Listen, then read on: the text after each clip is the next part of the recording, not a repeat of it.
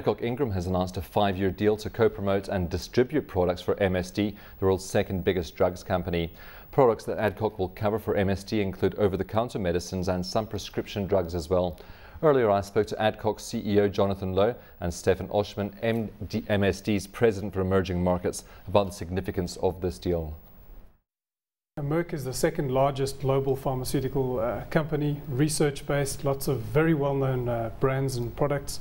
And for us, for them to elect us as their strategic partner in South Africa, you know, lends us huge, huge credibility. So we're very excited about the partnership. Um, in addition to this, we have a strong marketing and distribution capability, particularly in OTC and, of course, also in, in uh, certain prescription products. So this helps us build franchises uh, in, in Adcock, particularly in women's health and cardiovascular. And, of course, it bolsters our, our OTC capability. So the, the Merck portfolio brings a lot of well-known products to market, products like uh, Clarityne, uh, Drixine, Demazine, uh, Tinaderm, etc. So to add those to, to our portfolios in partnership with, uh, with Merck really uh, means a lot to us. But you said uh, lots, lots of OTC additions. How about prescription drugs? Are they also included in this deal? Yeah, um, we have a strong presence already in cardiovascular products. So products like uh, Fortzaar, Cozaar, um, Zocor, which is the originator product of, of generic simvastatin, also add uh, to the cardiovascular portfolio. We've had a relationship now with um, with uh, Schering-Plough originally uh, through their women's health portfolio, and as you know, Schering-Plough was uh, was acquired by Merck uh, MSD some uh, about a year ago, and uh, certainly that collaboration that we've had with MSD in terms of women's health will continue as well. Stefan, why did you choose Adcock specifically, and weren't you getting enough distribution capabilities yourself in the, the local market? As Jonathan just said, we are number two worldwide we are number four in the emerging markets and we're number eight in South Africa. Uh, we were looking for a reputable local partner who shares our values and adds a lot of local channel presence with pharmacists, physicians and patients. And we, we're delighted to be in a partnership with Adcock. The deal needs to be seen in a global strategic context. Uh, many pharma companies of moving uh, into the so-called emerging into the so-called emerging markets. We have declared that part of our strategy would be a, a, very important part of our strategy would be partnering with local and regional players. So this deal is the first deal within that strategy that we're announcing. Now, are you looking at Adcock as a local player or as a regional player? Is this going to extend beyond South Africa? Uh, currently, the deal is about South Africa, but Adcock uh, has a regional, a regional footprint. We are currently evaluating our options. We think that Africa as a continent will uh, experience enhanced economic growth going uh, going forward, and uh, that's a very interesting place for us to do business and to also fulfill our mission to provide better access of high quality, affordable medicines to more people.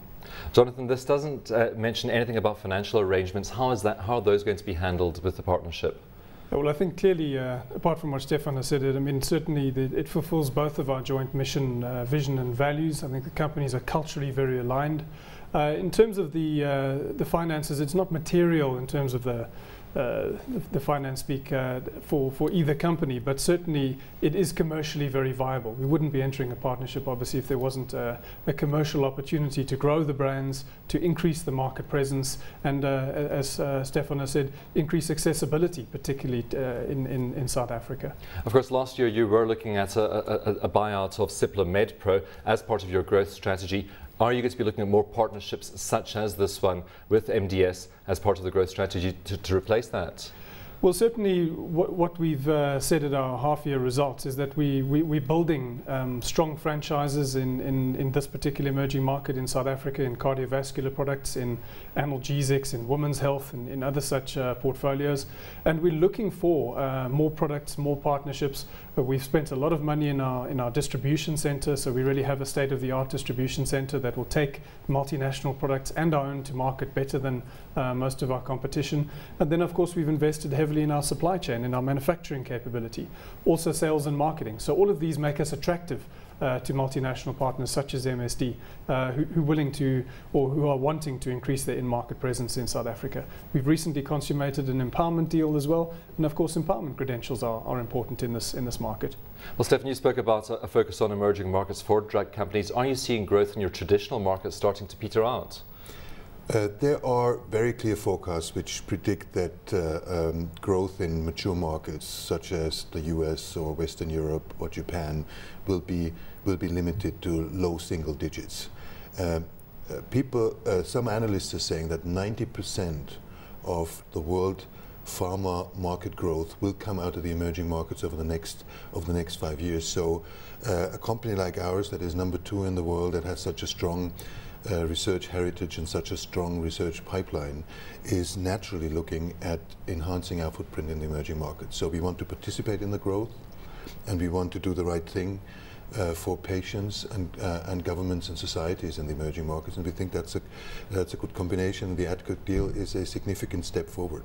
How about regulations in some of these emerging markets, such as South Africa, where there are ongoing changes to the regulation, regulatory environment? Is that perhaps a, a, a, a hurdle for you?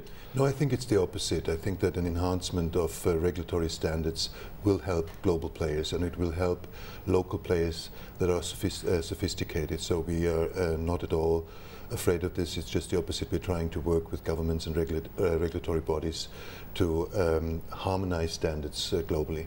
Will this go beyond marketing and distribution, perhaps into researching new medicines, uh, manufacturing as well, Jonathan?